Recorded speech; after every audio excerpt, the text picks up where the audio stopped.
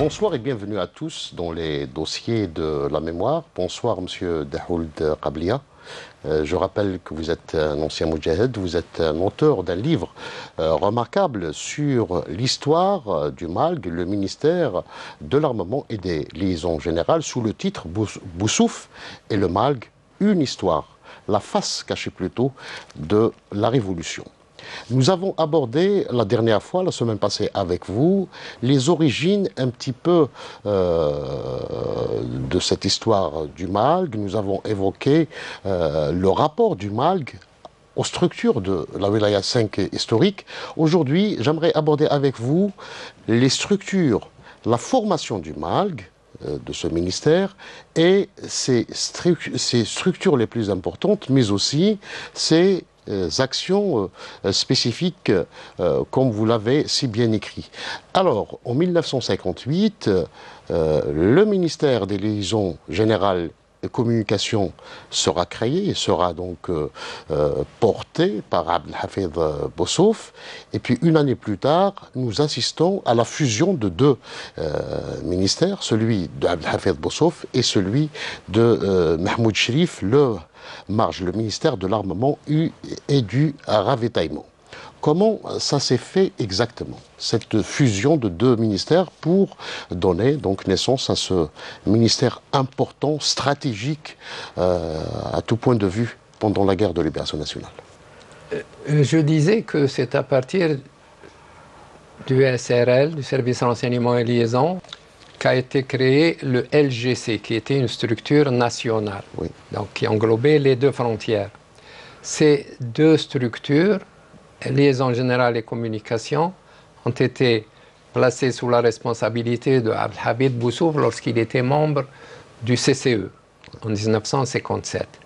En 1958, pour des considérations euh, tout à fait spécifiques sur lesquels peut-être on reviendra un jour, euh, dans le cadre de la formation du GPRA, euh, un gouvernement provisoire en exil a été créé, le GPRA, le 19 septembre 1958. Euh, un poste ministériel a été confié à Abdelhafid Boussouf, c'est celui ministère des liaisons générales et communications, c'est-à-dire qu'il a pris les mêmes attributions qu'il avait euh, auparavant. Au sein de la wilaya 5 et au, sein des deux frontières. Donc le MLGC s'est réorganisé. Évidemment, euh, tout ce qui était service national est devenu direction nationale. Donc le MLGC était composé de cinq directions nationales, la direction des transmissions nationales, la direction de la documentation et recherche qui s'occupe du renseignement opérationnel, la direction de la vigilance et du contre-renseignement qui s'occupait de, de, la vigilance et de la prévention, et le, la direction des liaisons. Les liaisons, Les liaisons confiées donc à quatre responsables différents. Euh, euh, Ali Telliji pour les transmissions, Khaladi Mohamed Khaled pour la DDR, euh, Barwan Abdelrahman pour la DVCR et Mohamed Rouaïd et Haj pour les liaisons. Pour ce qui est donc du contenu de ces différents services, je commence par le service que je connais le mieux, la DDR. La DDR, oui. La DDR était composée de trois services nationaux un service opérationnel qui était chargé de la recherche du renseignement au niveau des frontières et sur le caractère militaire opérationnel, soit à l'intérieur, soit au niveau des frontières. Le service de recherche extérieure qui va aller chercher l'information sur un front beaucoup plus large, euh, dans les pays voisins, puis en Allemagne, en Europe euh, et en France. Service et ensuite un service d'exploitation qui était le réceptacle des travaux de ces deux premiers services. C'était le service d'exploitation nationale basé à la base d'Idouche en Libye. En Libye. Boussouf créait cette base pour assurer une, un climat beaucoup plus serein beaucoup plus apaisé, beaucoup plus sécurisé pour le travail d'analyse et de prospective pour toute euh, la machinerie euh, qui, qui, s'occupait de, du traitement du renseignement. Donc voilà les trois services. Bon, le service, la division de vigilance était, et, de renseignement était constitué de deux commandements opérationnels, commandement Est et le commandement Ouest, plus un service d'exploitation central qui assure la régulation de tout le travail des transmissions. La direction des liaisons, c'était une direction constituée de boîtes postales qui assurait les liaisons entre euh, les capitales, Tunis et les différentes capitales, entre Oujda et également le reste du Maroc, par des, par des, par des, des estafettes réglementaires. C'était un service euh, au sens strict du, mot, avec des, bordereaux d'envoi, des, accusés de réception, etc., des ordres de mission. Et pour, les transferts à l'étranger, ils se déplaçaient également par la voie aérienne pour aller dans les différentes euh, euh, destinations où ils devaient euh, prendre ou déposer du courrier. Voilà un peu pour ce qui est de la DDR, de la DVCR et des liaisons. Pour ce qui est de la logistique, il y a eu deux grandes directions. La direction logistique ouest, confiée à euh, Mourad, non, à Mohamed Boudaoud, oui. dit Mansour, et la direction est confiée au colonel Ben Ouda. Voilà un peu, chacune, chacune de ces directions avait ses objectifs avait ses missions, avait ses moyens, avait ses personnels, donc, et surtout. Ah, euh, alors, pour un petit peu être, euh, pour simplifier les choses, euh, la DDR, la, la DDR s'occupait de l'information sur l'ennemi, n'est-ce pas? Exclusivement. Oui. La DDR cherchait l'information pour connaître l'ennemi sur le plan politique, sur le plan militaire, sur le plan opérationnel, sur le plan stratégique et sur le plan diplomatique puisqu'elle avait des prolongements euh, extrêmement importants. Et puis, le FLN ou le MALG a bénéficié euh, de l'aide et du soutien bénévole de très nombreuses personnalités étrangères, euh, aussi bien françaises qu'étrangères, allemandes, espagnoles, italiennes, américaines. Donc, donc alors la DVCR, c'était une sorte de bouclier qui assurait justement la sécurité de ce dispositif. Euh, pour la DVCR était chargée de protéger la révolution. Aussi bien ses hommes que ses équipements, que ses moyens, toujours contre l'ennemi. C'est-à-dire tous les alliés de l'ennemi, qu'ils soient français, qu'ils soient étrangers parce qu'il y a beaucoup d'Algériens, plus ou moins, qui ont essayé de travailler avec les services de, renseignement français, qui étaient multiples. Il n'y a pas que, que service de renseignement français, il y avait le SDEC, il y avait la DST, il y avait le deuxième bureau, il y avait le bureau d'études et liaisons. Donc beaucoup de services s'occupaient de renseignement euh, pour le compte de, de l'administration ou de l'armée française. Donc tout cela, euh, ils avaient des, une, un maillage extrêmement euh, large dans tous les pays, que ce soit en Tunisie, au Maroc, au Caire, au Liban, en Europe. Cela, il fallait percer ces choses-là, il fallait également s'en défendre. Euh, alors, euh, Abdelhafid Boussouf s'occupait de ce ministère, mais il, il s'occupait également des aspects militaires, parce qu'il était par exemple, euh, enfin, son ministère était la tutelle euh, de l'état-major général, par exemple, n'est-ce pas? Euh, En ce qui concerne un certain volet, la formation, par exemple. Une tutelle oui. morale d'abord, oui. quand il a confié la responsabilité de la wilaya 5 à Boumedienne, puis, puis après, lui à Lotfi, c'était, disons, euh, le parrain de ces, de, ces, responsables qui lui ont succédé tour à tour, mais il avait l'histoire de la tutelle sur l'état-major, ça s'est produit beaucoup plus tard. C'est au congrès de, de, 19, c'est euh, au congrès de 1959, 59, qui a donné naissance à la création de l'état-major général, que là, à l'aide du, du, comité interministériel de la guerre qui a été placé au-dessus de l'état-major général que Boussouf qui, qui, était le coordinateur de ces CIG. Parce que Bentombal s'occupait du ministère de l'Intérieur, euh, Krim Belkacem avait reçu le portefeuille des affaires étrangères, donc ils avaient trop de, de boulot et c'est euh, Abdelhavid Boussouf qui a pris euh, la coordination du CIG, qui était installé d'ailleurs dans son propre ministère et dont le secrétaire général de ce CIG était également un cadre euh, de ce ministère, à savoir Haj Abdelkader Azzoud. Donc voilà un peu comment, mais on verra plus tard que Boumedine a essayé de se libérer de cette tutelle qu'il jugeait pesante ou paralysante. Alors maintenant, le travail dans ces euh, directions importantes, euh, comment il se faisait, M. Dahoul Ben, il y avait.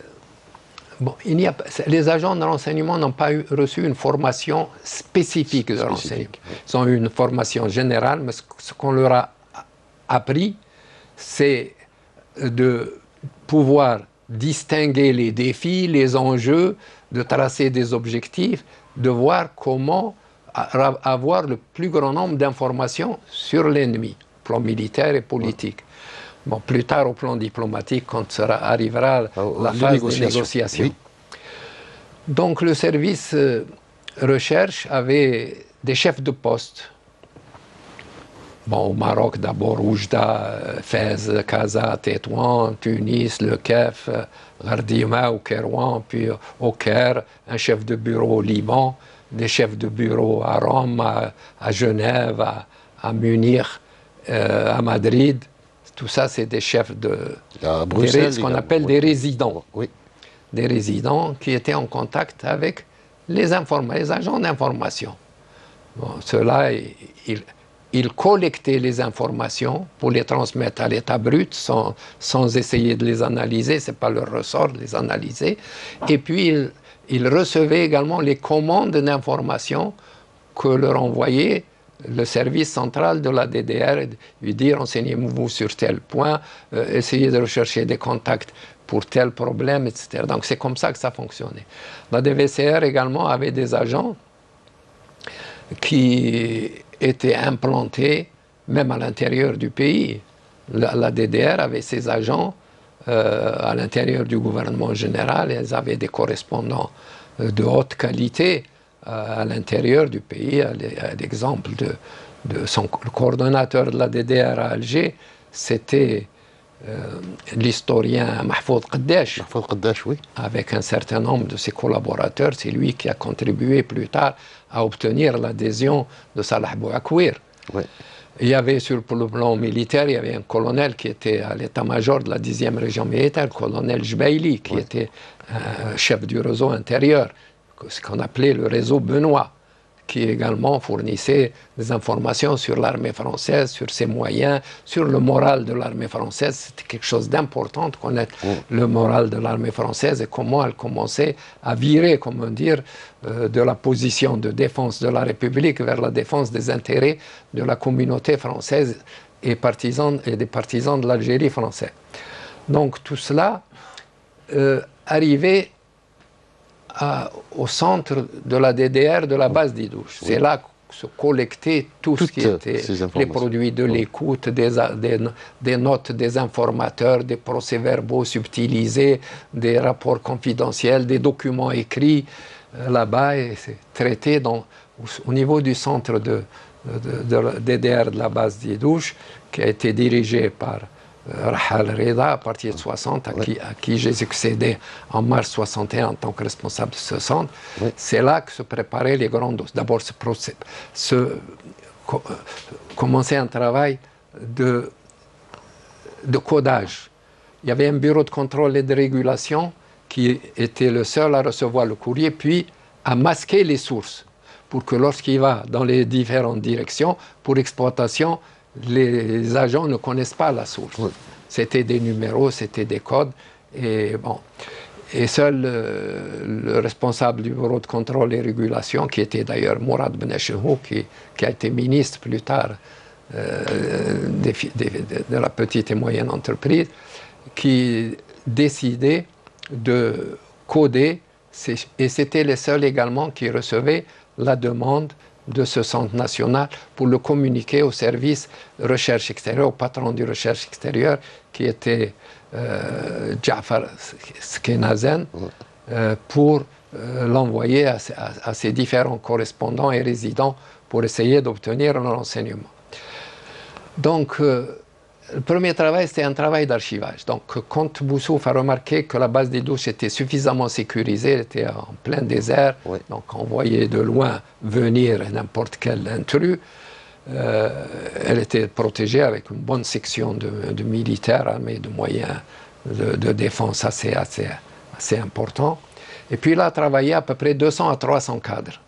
Parmi les, il y a des licenciés en droit, des licenciés en sciences économiques, euh, des spécialistes, des, on ne peut pas dire des spécialistes des questions militaires parce que le, domaine militaire, on l'a appris sur le terrain. Moi-même, j'étais chef de division des affaires militaires. Mon apprentissage militaire s'est fait au fur et à mesure, du travail que, que, que, je réalisais au niveau des frontières, euh, sur la connaissance du barrage en particulier.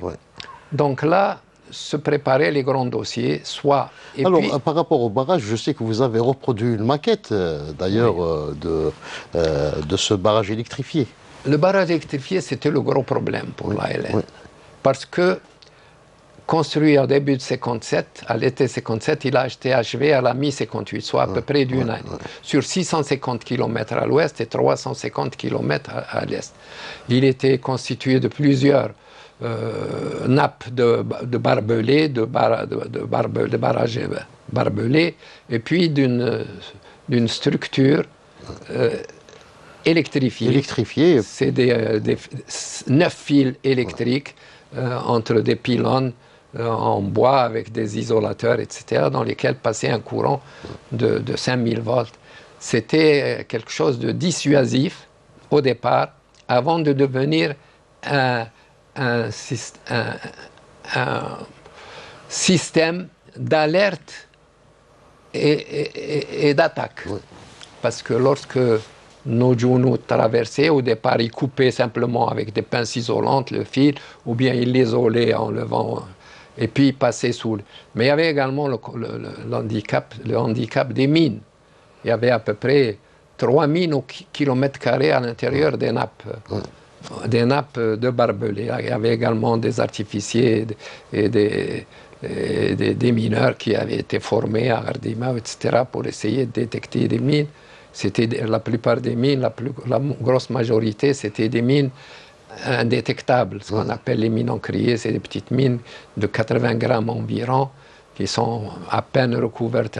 Et si on appuie dessus, on, on l'écrase, ça saute, ça vous enlève une jambe, ça vous paralyse.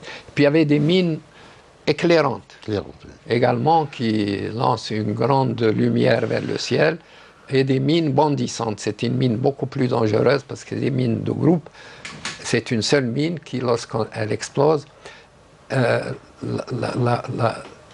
le fût qui explose envoie la mine à une hauteur d'un mètre environ du sol, et c'est là le fil qui qui, qui la retient avec la pression sert de détonateur. Elle explose elle envoie ces, segments euh, sur un large rayon euh, à une, hauteur d'un mètre. Donc il peut faucher 7, 8, 10 personnes. Mais les plus dangereuses, c'était les mines antipersonnelles. Parce qu'elles étaient beaucoup plus nombreuses. Il y a eu environ entre 10 et 12 millions de mines qui ont été installées sur le barrage euh, pendant cette période. Donc il fallait connaître ce système. Le système d'alarme, lorsque vous coupez un fil plus tard, il était relié à des, postes qu'on appelle les postes d'électromécaniciens. C'est là que, en utilisant une formule, euh, un logarithme qui s'appelle euh, bon, le, mot va me, revenir. Euh, il permet de connaître l'endroit précis en se basant sur, l'équation entre voltage, puissance et intensité. Le voltage étant déterminé de 5000 volts, la résistance étant connue, c'est la masse de l'ensemble des barbes. Et l'intensité est également connue, c'est la base d'un de, courant électrique qui était envoyé. Donc, s'il y a une rupture d'équilibre, s'il y a une coupure, la résistance diminue. Donc, l'intensité augmente. Et c'est en fonction de ces paramètres euh, que sur le, tableau, de, il y avait le point exact de, rupture. C'était quelque chose d'assez, d'assez, d'une technologie extrêmement développée, qui sera développée encore beaucoup plus plus tard pour détecter les, et puis au niveau de, cette direction, vous avez eu toutes ces, données Oui, oui, tout cela. Parce que on a, j'ai moi-même interrogé un, sous-lieutenant du génie qui avait été euh, arrêté à la frontière, sur le barrage. Et donc on l'a interrogé, il a posé sur toutes ces choses-là. Euh, et on a pu reconstituer donc tout le système d'alarme et, et, d'intervention. Parce que l'alarme, permettait soit aux véhicules, aux engins blindés d'aller directement sur la piste, soit également d'envoyer des tirs d'artillerie où il y a un reflux ou un passage, c'est en amont, en, en, arrière du barrage ou en avant du barrage que l'artillerie intervient, avant de faire intervenir également des unités si le passage est important, s'il y a des, des, groupes également qui sont euh, euh, retrouvés en zone opérationnelle euh, d'après-barrage, côté algérien, qui était une zone, un non mince une zone interdite. Euh, Monsieur Daoud Rablia, je pense que ce travail donc euh, d'information concernant le barrage, j'imagine que vous l'avez fait après la fameuse bataille de Sokaras, la mer des batailles, bien avant. Parce que là, on, a, on, a, on avait reconstitué des maquettes de barrages et on avait expliqué au colonel Boumedienne et à, beaucoup de chefs de bataillon, etc., comment ça fonctionnait. Bon, c'est pour les aider à, se protéger et à éviter surtout le système d'alarme. C'est à partir de là qu'ils ont trouvé certains dispositifs pour ne plus couper, mais pour passer, créer une espèce de, de fût en bois, passer, creuser également en profondeur, essayer de neutraliser la ligne en chantant de part et d'autre du barrage avant de le couper avec euh, un, film, un fil euh, électrique protégé euh, pour pouvoir couper tout, sans, sans, interrompre le, passage du courant. Mais même malgré cela, les Français ont apporté de, de, nouvelles modifications. Il y avait un truc important également qui a été mis au point par l'armée française, c'est ce qui s'appelle le radar canon.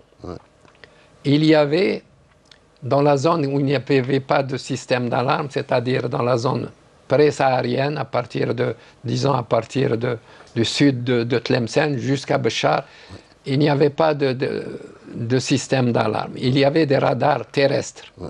Le radar terrestre, contrairement au radar aérien, le radar aérien est orienté vers le ciel. Il a une image, donc, euh, une image euh, euh, neutre. Et s'il y a un avion qui passe, c'est un point lumineux qui passe. Le barrage terrestre, il est orienté. Il donne une image du relief. Il donne le relief. Et s'il y a un mouvement de véhicule ou d'individu, il les, il les détecte. Et il les détecte. Il détecte un, un véhicule à 24 km de distance et un groupe humain à 8 km environ de distance. C'est là qu'il faut intervenir. Il y a une autre particularité du radar, c'est qu'il a été également adapté pour suivre l'ogive d'un mortier. Lorsque notre mortier tire, son ogive, la trace euh, qu'il laisse derrière lui, la trajectoire, oui.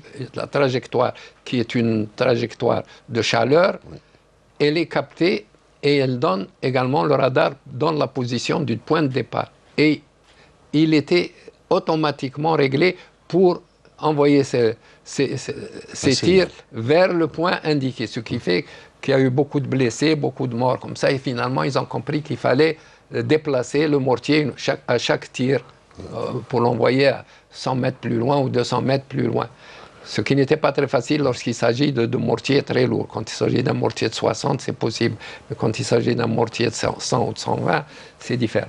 Donc voilà un peu les éléments qu'on a euh, qu'on a euh, communiqué, communiqué aux autorités militaires et euh, le service opérationnel était étoffé avec des brigades qui étaient incluses dans les, dans les bataillons, qui marchaient avec les bataillons et qui, et qui mettait à jour régulièrement leurs données sur ce, qui se passait à travers le barrage. On a pu également reconstituer le type de matériel qui était utilisé, d'engins, le, le, système d'artillerie, les types de radars, les unités qui étaient implantées à l'intérieur du barrage, ou en avant du barrage, ou en arrière du barrage, et puis le système également euh, de surveillance aérienne, quel type d'appareil, etc. Tout cela va nous servir dans une mission qu'on a, qu'on a, que le colonel Boussouf nous a envoyée à, à, présenter aux autorités soviétiques, aux autorités militaires justement, soviétiques. Justement, ce, ce, déplacement, vous étiez donc euh, ce déplacement euh, en URSS à l'époque. Oui. Euh, C'est en octobre oui. 1960. Oui. Nous sommes restés là-bas 17 jours. On faisait, tenait des séances de travail. Il y avait Merbah, oui. Benjalti et moi-même. Euh, on faisait des séances de travail à raison de trois séances par semaine. Et la première, les premières séances, on a exposé. On a dit voilà ce que c'est que l'ALN aux frontières. Oui. Voici nos éléments, voici notre euh, potentiel humain, voici notre potentiel euh, matériel, voici comment notre stratégie, notre tactique, comment on opérait, mais sans résultat parce qu'on leur exposait voici maintenant comment l'ennemi est organisé aux frontières. Maintenant, on demande votre concours, comment nous aider à neutraliser le système d'alarme, à brouiller les radars, etc. etc. Bon, la réponse n'a pas été très concluante parce qu'ils disent que c'est un barrage qui est inédit, qui n'a pas son pareil un peu dans le monde. C'est pas la ligne Maginot, c'est pas la ligne Siegfried, ouais. c'est pas c'est pas ce que nous connaissons. Donc c'est un élément nouveau pour nous. Et il nous faut beaucoup plus d'informations techniques sur les, le système, sur les modèles de radar, sur le, le système également d'alimentation euh, électronique, Ouais. les- la, figu- la- la configuration des tables traçantes qui permettent la lecture, etc. Bon, mais nous, on a un conseil à vous donner, compte tenu de vos faibles moyens, c'est de, euh, d'organiser des tentatives de franchissement du barrage sur un front très large, de 300 km au moins, avec plusieurs tentatives de coupure pour disperser les forces françaises. Il y avait trois divisions sur le barrage Est. La deuxième division d'infanterie mécanisée à Neba, la onzième division légère, la onzième di- di- division d'infanterie à Soukharas et la septième division mécanique à Tébessa. TBSA. Donc ils avaient à peu près euh, 30 à 40 000 hommes sur les frontières, avec des unités d'élite euh, derrière le barrage, des unités d'intervention, le- les régiments étrangers de parachutistes, les régiments de cavalerie, les 13e, euh, des légionnaires, de la- du REI, etc. Tout cela est précisé dans le livre. Il y avait, il y avait une... Mais j'aimerais vous, poser une petite question. Est-ce que la réaction des Russes à l'époque n'était pas une euh, réponse politique? Parce qu'il y avait un petit rapprochement avec De Gaulle, non? Non, non. Ah. Bon, euh, les militaires ne, considèrent pas les aspects Politique. ne considèrent pas les aspects politiques. D'abord, c'était une information précieuse pour eux, savoir comment, euh, un- euh, comment, régler- comment examiner, apprécier un conflit asymétrique entre des forces supérieures, euh, déséquilibrées. Et ensuite, euh, ils voulaient, ils voulaient euh, rapprocher, se rapprocher du FLN et de la révolution algérienne pour empêcher qu'elle soit prise en charge par, le- par les Occidentaux, en particulier par les Américains. Donc ils étaient sincères avec nous et c'est ce qui s'est avéré opérant par la suite, lorsque, avec l'état-major général, ils ont commencé à faire des opérations. Mais eux, Boussouf avait une autre idée pour ça. Boussouf avait demandé à notre ambassadeur, à, l'ambassadeur soviétique au Caire, s'il pouvait l'orienter vers une opération, quand on s'est aperçu que le barrage était complètement hermétique, ce qui nous a créé de gros problèmes de malentendus, d'incompréhension avec les dirigeants de l'intérieur, qui considéraient que le, que le gouvernement et les autorités dirigeants extérieurs ne s'occupaient pas, n'étaient pas sensibles à leur, euh, à leur tragédie, à leur manque d'armement, etc.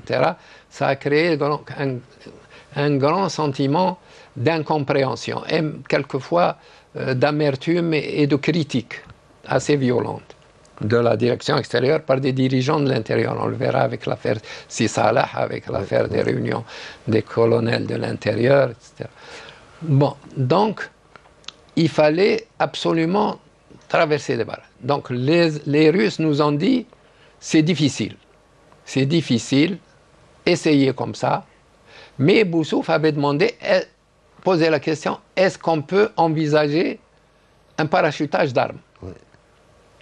Et ces deux-là, Boussouf pensait à créer euh, carrément euh, des pistes d'atterrissage en Libye, ou en particulier en Libye. Les Marocains auraient certainement refusé, les Tunisiens aussi, pour pouvoir utiliser des avions.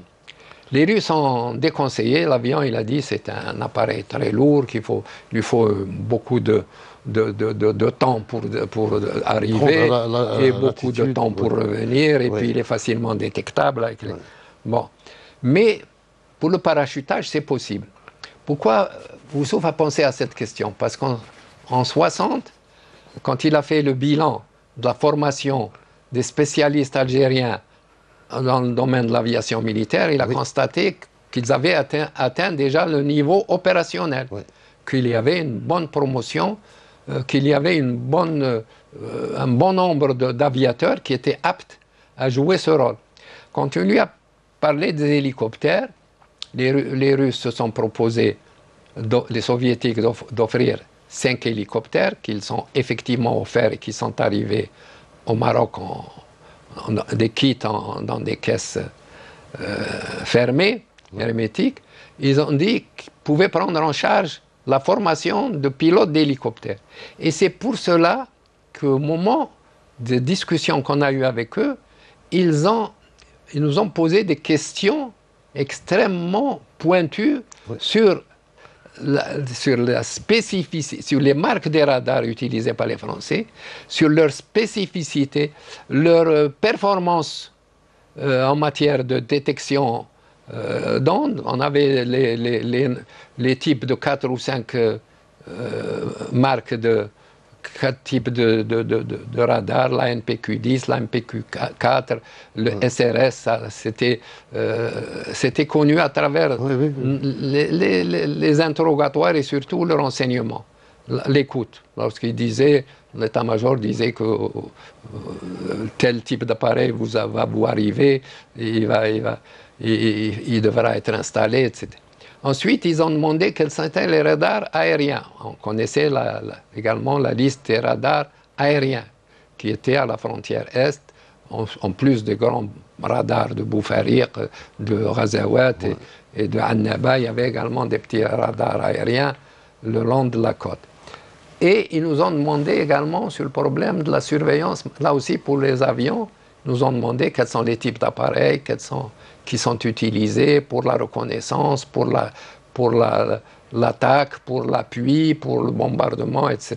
On leur a donné ce qu'on savait. Voilà. Il y a une question qui, qui, nous avait été posée, à laquelle on n'avait pas pu répondre. Est-ce que les types d'appareils qui sont utilisés par l'armée française disposent d'un radar nez, dans, le nez, c'est-à-dire à même l'appareil? Bon, on a su plus tard que le Mystère 4 avait ce type d'équipement. Pourquoi il posait cette question? Parce que entre un hélicoptère qui entre, s'il faut faire la relation entre le radar aérien et l'unité d'intervention, il y a un temps, il y a un temps de, euh, de préparation, euh, opérationnelle. Tandis que le radar peut directement, quand il est dans d'un appareil, peut directement se, diriger vers sa cible, qui, qui, qui. Donc ils ont formé à peu près 10 euh, pilotes d'hélicoptères sur hélicoptères MI4 et MI5 à, euh, à, Frunze, euh, la capitale du Kazakhstan à l'époque, qui s'appelle. elle a un autre nom actuellement. et cela, ça a débuté en en, en octobre 1961. C'est un stage qui a duré six mois et qui s'est terminé avec le cessez-le-feu. Mais toute la formation qui leur a été donnée, c'était une formation pour survol d'hélicoptères à très basse altitude, de nuit, euh, sur la base d'une de, ou deux lampes au sol, euh, et pour faire des, petits sauts de puce de 40 km environ et de, retourner immédiatement avant de, démonter l'appareil et d'essayer de le masquer.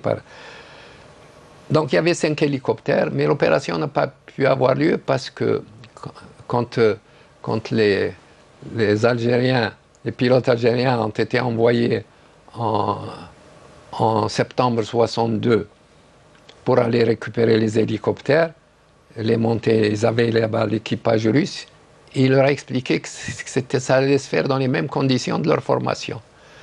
Donc euh, voilà un peu.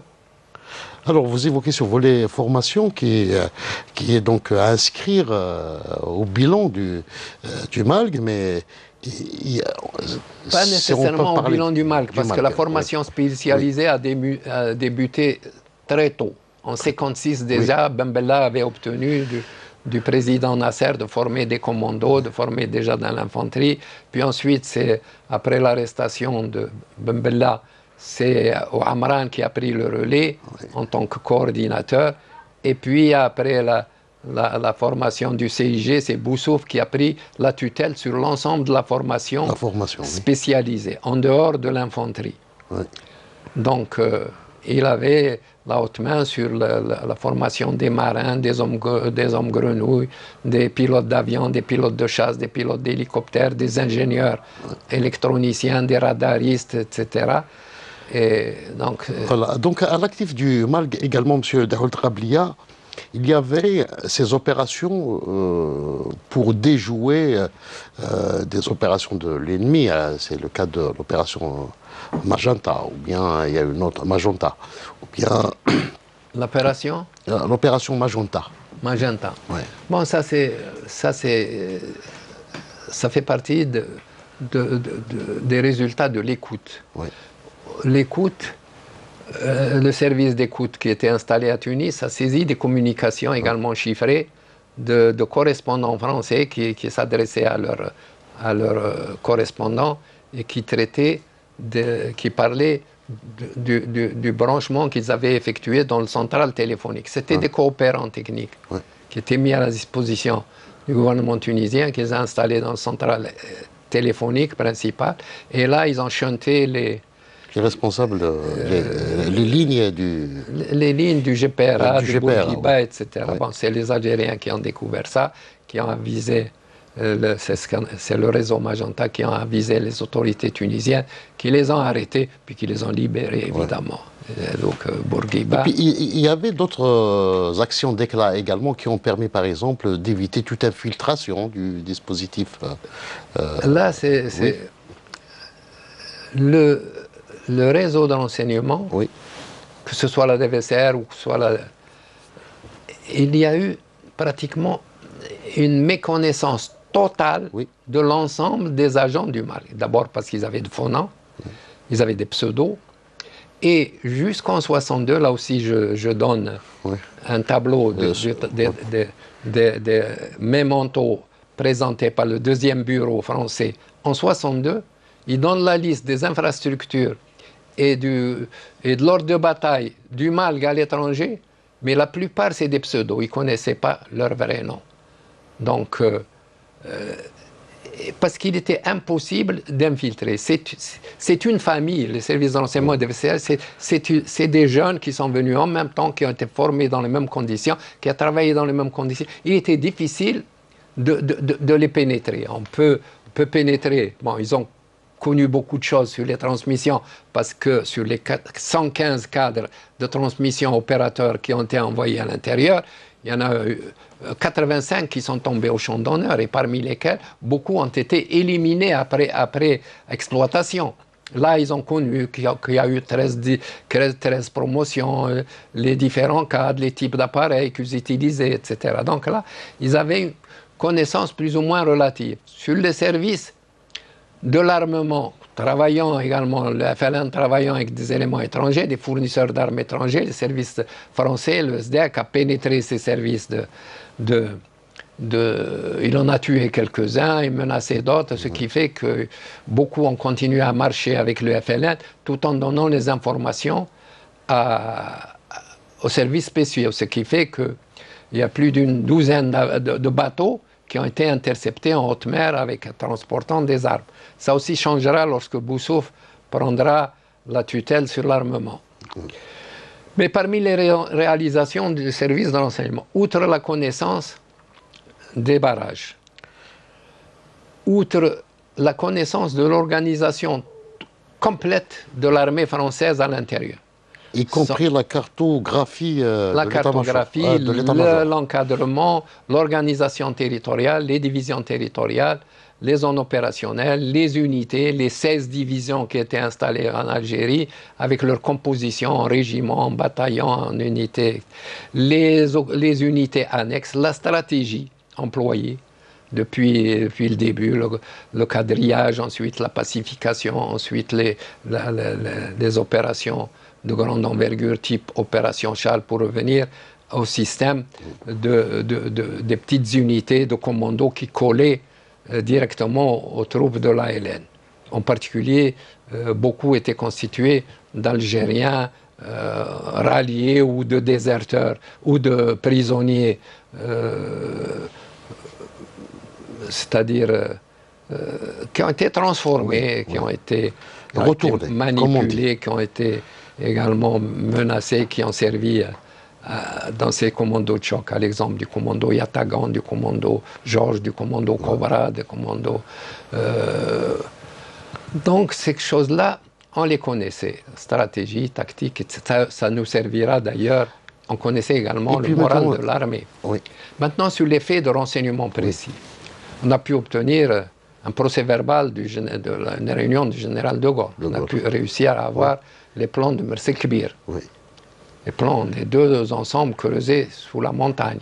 Ça aussi de manière assez, assez euh, extraordinaire, digne d'un film de, de, de, 007. Euh, on avait également, il faut surtout parler de de la grande, du grand soutien apporté par de nombreux responsables, personnalités politiques françaises qui, euh, c'est pas tellement par amour du FLN, bon, mais ils considéraient que le FLN se battait pour une cause juste. juste Et beaucoup d'autres également pensaient que la France était en train de se fourvoyer dans un, dans un pied et, ils voulaient sauver l'honneur de la France, qu'elle se retire de ce, de ce bourbier. Et tout. Voilà donc, euh, c'était une double, euh, une double motivation.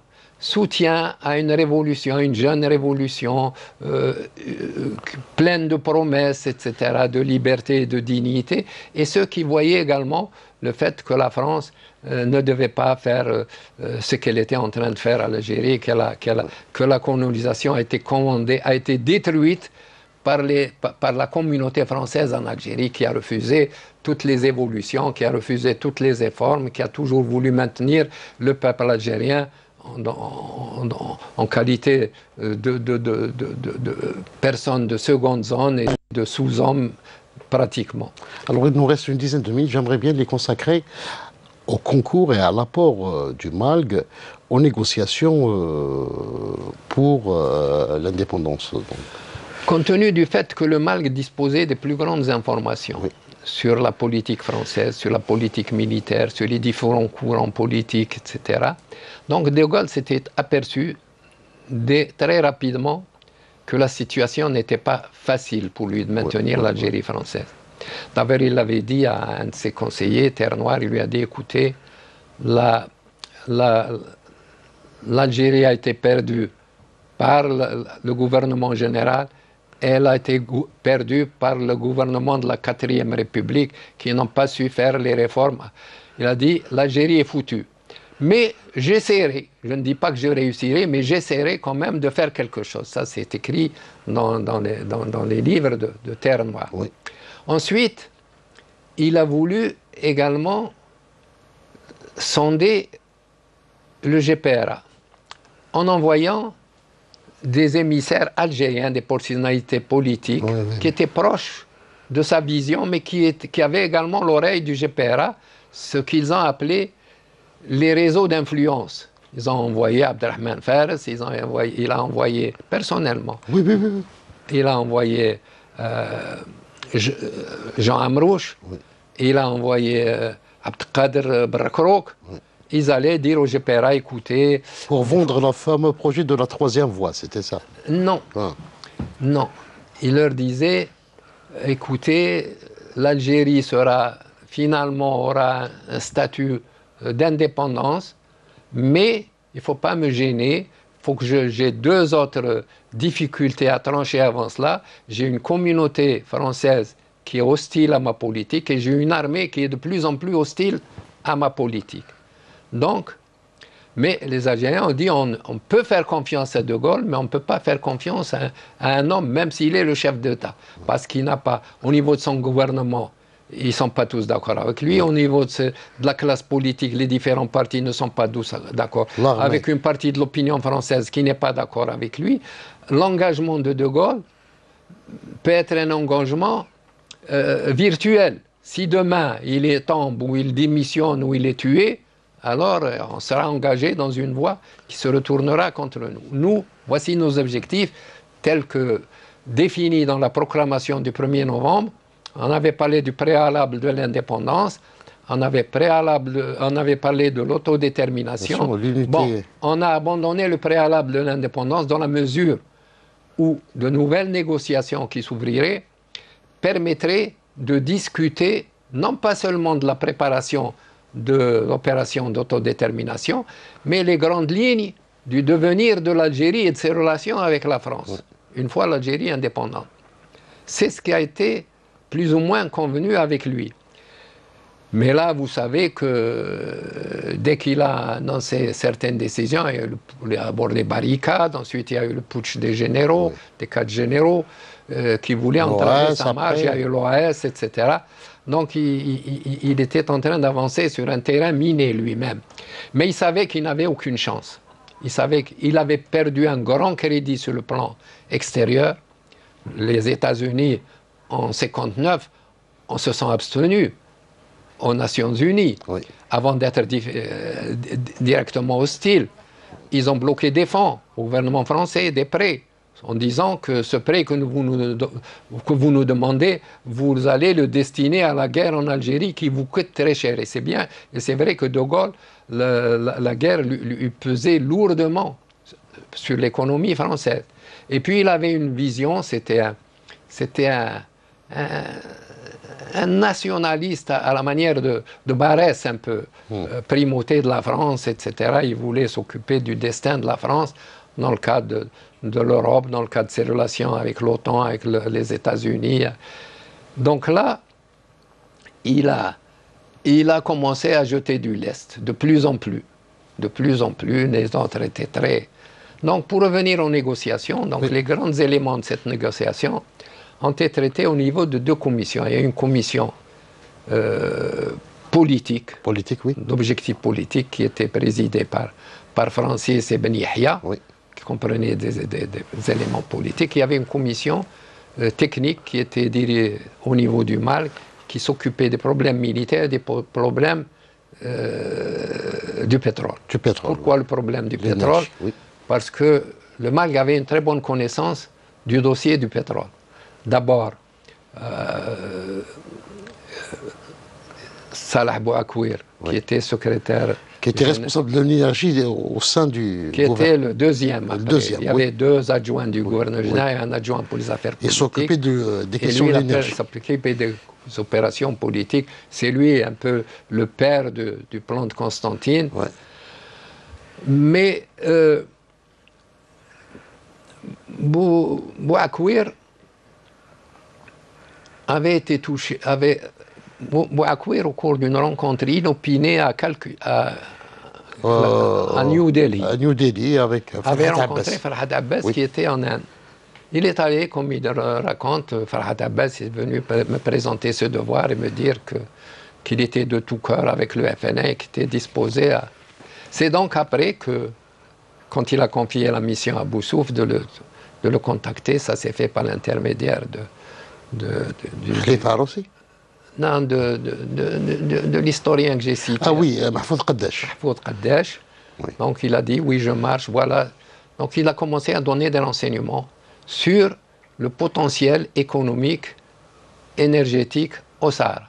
Les compagnies exploitantes, les, les, les, contrats qui ont été donnés, euh, les concessions qui ont été données, les contrats de vente, euh, les, les, niveaux de production, les prix, le tarif fiscal, le tarif douanier, etc. Donc tout, ces, tout ce dossier. Euh, un dossier complet extrêmement. Et puis surtout ce qui intéressait, ce qui intéressait le mal, quelles sont les parts de l'État français dans ces différentes, il y avait une quarantaine de sociétés exploitantes, il y a une société purement à, son, à capital français telle que la SN Répal. Il y avait la CFPA qui était à capital du gouvernement général, donc à capital algérien. Donc toutes ces, ces actions-là qui appartiennent à l'État français doivent, en fonction des négociations, revenir à l'État algérien. L'État algérien devenant puissance euh, tutélaire et propriétaire des actifs pétroliers, elle devait donc remplacer l'État français dans tous ses actifs. Euh, ces éléments ces éléments, c'est des éléments de base. Maintenant, des éléments de stratégie. C'est là qu'est intervenu Enrico Mattei. Oui. Enrico Mattei. Qui était le président de l'ENI. Président d'une société nationale italienne, l'ENI.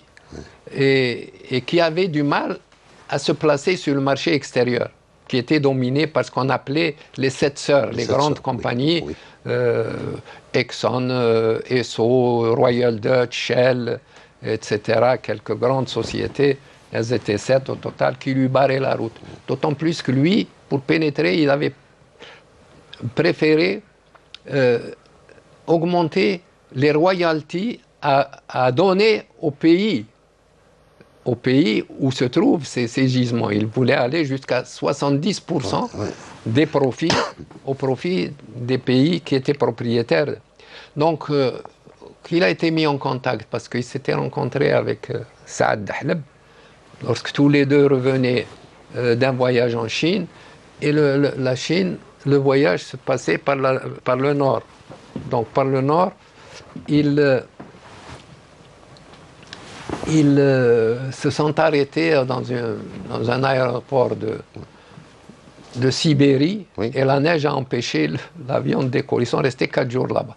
Donc ils ont discuté entre, entre eux et il a montré un peu ça, ses sentiments vis-à-vis de la Corse d'autant plus qu'il était connu euh, avec ses, beaucoup d'amis au sein de la, euh, de la démocratie chrétienne euh, en, Italie, qui était comme le maire de, de Rome, comme beaucoup de de responsables et de parlementaires, ils étaient très, très proches de, de la position du FLN. Mais, mais il paraît que Bossouf lui a rendu un service. Oui, avec le roi. Avant, bon, ensuite, il a été mis en contact avec Boussouf. Boussouf l'a aidé à se placer en Libye. Donc, c'est là qu'il a, qu'il a commencé à appliquer sa, doctrine de, partage des royalties qui était beaucoup plus favorable que les royalties données par les sociétés euh, du, cartel. Euh, il n'y a pas d'ailleurs que lorsque la mission qui a été envoyée par le FLN pour contacter l'Aramco, la Shell et ESSO, et plus la Royal Dutch, qui était composée de présidé par la Russie Khalifa avec un de mes amis du Malg, Rahal Reda et, et Sadr euh, ils leur ont dit oui, nous, nous, nous, appuyons votre désir de vouloir rattacher le Sahara à l'Algérie. Il ne faut pas accepter cette histoire de partage du pays. Et nous sommes derrière vous et s'il y a des possibilités de relations avec l'Algérie indépendante, nous sommes parfaitement disposés, quoi qu'on pensera à la France, qui, s'imaginera qu'au terme des négociations, elle va avoir euh, l'exclusivité du marché du pétrole, etc. Donc, euh, les sociétés, même ces sociétés étrangères, étaient sensibles aux gains économiques que leur soutien allait leur rapporter. Donc, euh, la politique disparaît derrière les intérêts économiques dans donc, ce cas. Donc le jour des négociations, les Français étaient étonnés euh, euh, de la somme des informations qu'avait le... Sur les deux aspects, sur le dossier militaire et sur, les, et sur le dossier du pétrole. Du pétrole. Il, à partir de ces éléments, le, FLN a construit sa stratégie parce que Enrico Mattei a installé même son, son, correspondant, Mario Pirani, à, à, Tunis même, dans les bureaux du MALG, où il travaillait avec nos éléments, etc., sur des éléments de stratégie. Il fallait que, pour la période du cessez-le-feu, déjà, que les, que les sociétés opérant au Sahara s'interdisent tout transfert d'actifs, notamment des actifs, des actifs de l'État vis-à-vis des sociétés privées opérantes, pour maintenir le taux des actifs. Qu'il n'y ait pas de, concessions nouvelles sur des périmètres nouveaux, qu'il n'y ait pas de changement au, prix, sorti puis, qu'il n'y ait pas de changement au tarif transport par pipeline, qu'il n'y ait pas de transport de modification sur le, régime fiscal et le régime douanier, pour ne pas créer des distorsions et, euh, en faveur des sociétés qui vont euh, exploiter ce, pétrole durant cette période transitoire, une période d'ailleurs que, que, De Gaulle souhaitait de trois années. Mais finalement, il a fallu la réduire à, quatre mois. À quatre mois. Euh, trois mois, avril, mai, juin, trois mois. Donc tout cela, ça les a un peu... Et c'est comme ça qu'ils ont essayé, que les services spéciaux ont essayé de remonter la source pour voir d'où ils pouvaient avoir les renseignements. Ils sont aperçus donc que ça ne pouvait parvenir que de Salah Bouakwir et d'Enrico Mattei. Malheureusement, Salah Bouakwir sera découvert euh, mort, donc assassiné dans sa, a été assassiné. non, non, il a été assassiné en mer. En mer. Bon, ils l'ont soi-disant qu'il faisait de la chasse sous-marine et qu'il est mort là-bas, alors que quand ils l'ont rendu à sa famille, son fils shérif, quand je lui ai dit, voilà, moi je connais l'histoire de ton père, est-ce que je peux en parler? Parce que tout le monde euh, euh, parle de, ton père comme un grand collaborateur euh, de français, comme un harki, etc. Il m'a dit oui, si vous faites cela, ce sera un honneur pour nous. Aucun, aucun, aucune aucun privilège accordé Par, par, la France ne, ne, ne, peut nous remplacer cet honneur que vous nous faites. Donc, vous pouvez en parler. Et pourquoi j'en ai parlé? Parce que c'est quand, quand Boudiaf a dit on va enlever le, le, la, Salah Bouakwir, que c'était Harki, etc. Boudiaf était en prison, il n'a jamais rien su de ce qui se passait, Bembella non plus. Beaucoup de gens, c'était quelque chose de très secret avec Bembella. Il y a quatre ou cinq hommes qui connaissaient cette histoire de, et j'étais l'un d'eux. Et c'est pour cela que je me suis permis. Donc, d'ailleurs, Chérif, quand tu l'as dit, m'a dit ils nous ont rendu le cercueil plombé en nous interdisant de l'ouvrir. L'ouvrir, oui. Ça veut dire qu'il y avait quelque chose, comment il a été tué, etc. Et malheureusement, même Enrico Mattei. Il a été. Celui-là, il a été. en septembre 1962. Oui. Juste après l'indépendance d'Alger. Ah, il venait de, de rencontrer euh, le président Bembella à Alger. Oui. C'est dans ce retour à Alger, juste après qu'il a été. Son avion a été abattu ou il a été, bon, Son hélicoptère a été saboté, tout saboté. Tout le monde pense que, que c'est un coup des services spéciaux. D'ailleurs, les services spéciaux n'ont pas fait que ça. Ça, je, je, prépare cela dans un second livre. Alors, le rôle des experts du, euh, du MALG parce que vous étiez vous-même expert euh, dans l'avant-dernier round des négociations. Oui, j'ai participé aux dernières négociations de, 1962. Euh, oui. Avec Merbah et un autre camarade. Traité du dossier militaire, précisément. Et là, on a beaucoup aidé parce que armées, l'armée la délégation française demandait beaucoup d'avantages pour l'armée française, qu'elle puisse euh, stationner, qu'il y ait un nombre de, militaires euh, assez important en fonction de, en rapport avec le, nombre de la communauté française, qu'ils aient des. On a dit, et voilà, non. L'armée française est une armée battue, c'est une armée démotivée, c'est une armée divisée on ne peut pas lui concéder de tels privilèges. C'est une armée qui doit se retirer, il faut qu'on reste. Il y avait 80 000 hommes en 54, ils, doivent rester 80 000 hommes à la fin de, de 62. Puis sur les plans également de, de, de Mersekbir, ils insistaient beaucoup sur Mersekbir parce qu'au départ, ils exigeaient que... Un bail de 99 ans Une concession. Une concession, d'abord. 99 ans. Oui. Bon, euh, les nôtres évidemment refusé.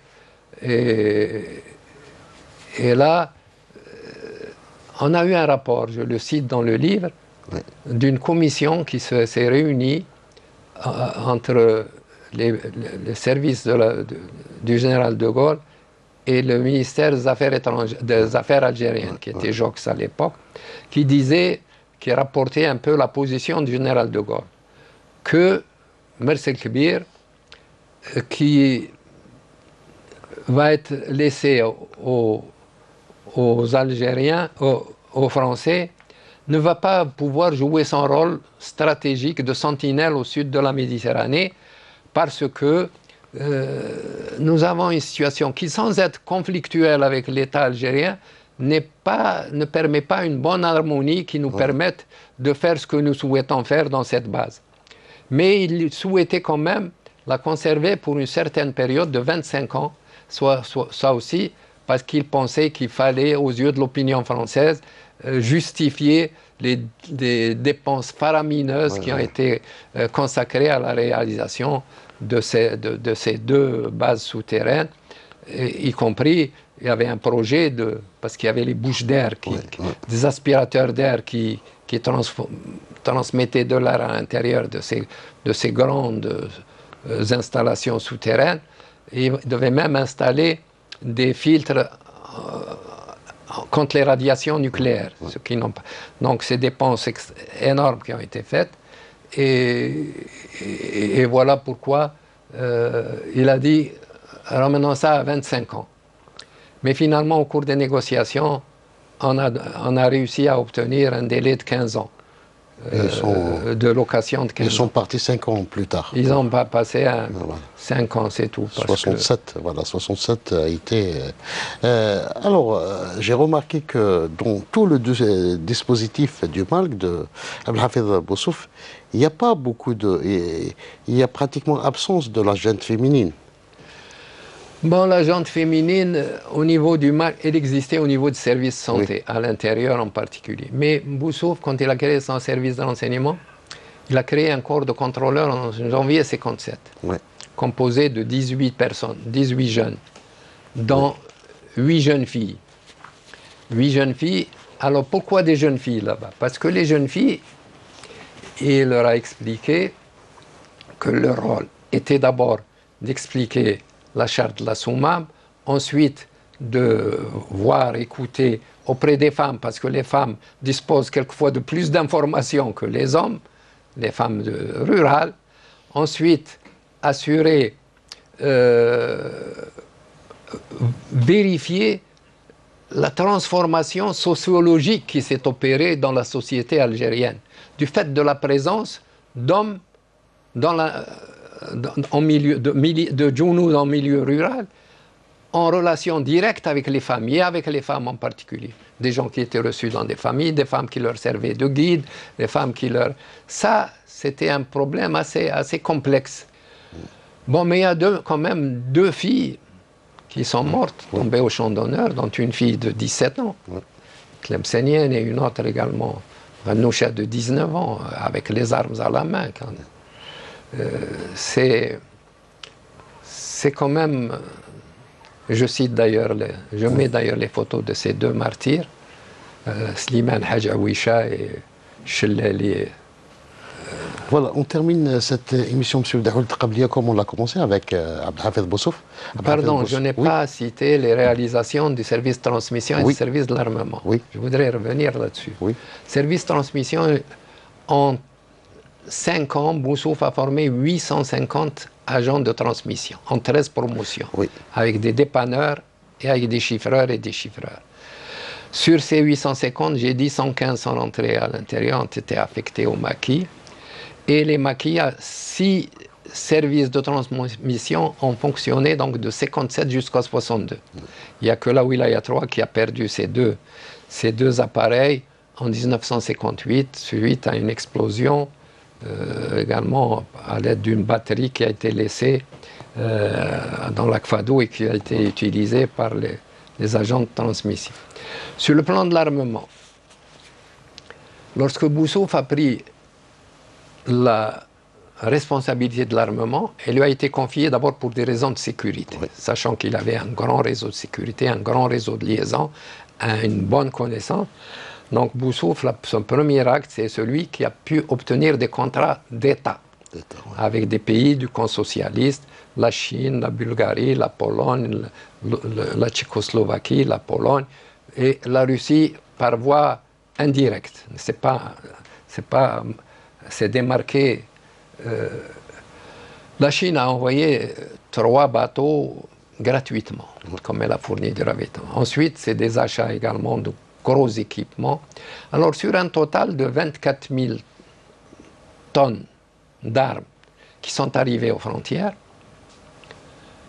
euh, qui ont été achetées pour les frontières, les Français ont récupéré au titre des interceptions environ 2500 tonnes, 10%.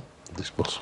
Et, et ça, ce n'était pas pendant la période de Boussouf, c'était la période avant lui, parce que les services n'étaient pas, pas très vigilants, n'étaient pas... Et c'était, ils envoyaient des messages, ils envoyaient, etc., qui étaient captés facilement. Donc, euh, il a pu sécuriser euh, les achats et, transporter les armements au Maroc et en Tunisie. Bon. Sur les bateaux qui, sont, qui ont été arraisonnés, je cite les raisons pour lesquelles, parce que les espions euh, du SDEC étaient partout dans Là, on rappelle le rôle de Mohamed Yousfi euh, quand on parle d'un oui. oui. Euh, Mohamed Yousfi et surtout son adjoint, euh, Mehdi Sherif, on appelait Chitan, portait bien son nom. voilà un peu les, les résultats en ce qui concerne les réalisations du mal. Maintenant, si on parle de l'homme Boussouf, oui.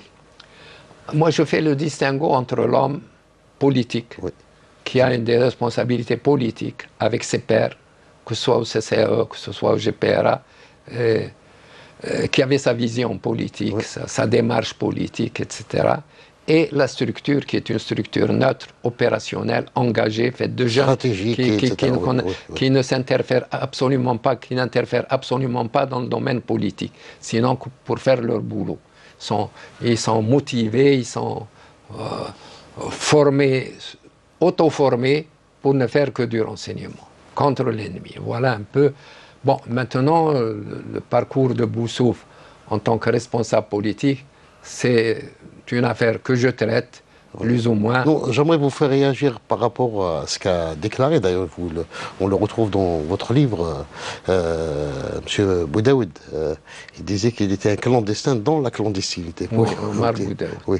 Et puis c'est la même chose, il y avait des, donc des journalistes du New Moi, je préférais citer, en dehors de oui. Boudaoud, je préférais citer des étrangers. Parce que si je cite moi, si je fais moi-même euh, l'apologie de Boussouf, on dit les parties prenantes, donc il n'y a pas de raison. Euh, c'est lui, la brosse à reluire, etc. Comme disait quelqu'un, euh, vous êtes des euh, Boussouf Boys. Ça, Ahmed a dit cela. Un autre, tout récemment, a dit qu'on était des séides, c'est-à-dire des gens qui, a, qui, qui, qui qui, qui, obéissent aveuglément et, sans, sans, réfléchir. Bon, tout ça, c'est des, c'est des jeunes qui étaient euh, alors, donc, pénétrés du sentiment national, du sentiment du devoir, de la fierté de servir le pays. Et beaucoup d'ailleurs au départ ont été très fâchés qu'ils ne soient pas envoyés dans les maquis. Hein, qui ont pleuré. Moi, je ne veux pas aller en transmission. Moi, je suis venu pour aller prendre des armes. Moi, moi je ne veux, pas être dans la SRL. Je veux, être, je veux aller prendre les armes, etc. Euh, il y a une distribution des rôles. Et puis à la fin, donc, euh, quand il quitte le Malg après l'indépendance, donc, il, a adressé une lettre officielle à tous ses collaborateurs. C'est une lettre de fin de mission. Oui, oui. Le 22 juin, la lettre, il dit bon, vous êtes, vous allez rentrer au pays. Oui, mais on compte, vous avez fait un travail extraordinaire qui vous est reconnu partout, c'est partout. Euh, votre travail, mission maintenant, consiste à aider à construire le pays. Le pays a besoin d'être relevé et ne peuvent le relever que ceux qui ont contribué à sa libération. Voilà donc un peu ça. Ensuite, lui, comme euh, il a perdu tout espoir de voir une Algérie différente, il a quitté définitivement euh, la politique pour se, pour s'organiser autrement. Et vous l'avez rencontré euh, Oui. Personnellement? J'étais très lié. J'ai travaillé avec lui trois mois dans son cabinet. Oui. Et, non, c'est-à-dire après, après la, période, c'est-à-dire entre 1962 et 1980. Jusqu'à sa mort. Jusqu'à sa mort. Je mangeais chez lui, il venait chez moi à Oran, à Tlemcen. Non. Et j'ai des lettres de lui également. Voilà, donc euh, je tiens à vous remercier vivement, Monsieur Daoud Qablia, pour ce témoignage, pour ces euh, informations précieuses sur euh, cette institution qui était le MALG, le ministère de l'Armement et des Renseignements Généraux. Je rappelle que vous êtes l'auteur d'un livre remarquable consacré à cette histoire, Bossouf et le MALG, la face cachée de la Révolution et je tiens à remercier toutes celles et tous ceux qui ont euh, participé, qui m'ont aidé à, la préparer. Euh, merci encore une fois, Monsieur Daoud À une autre occasion, on parlera des épisodes particuliers de la guerre d'Algérie.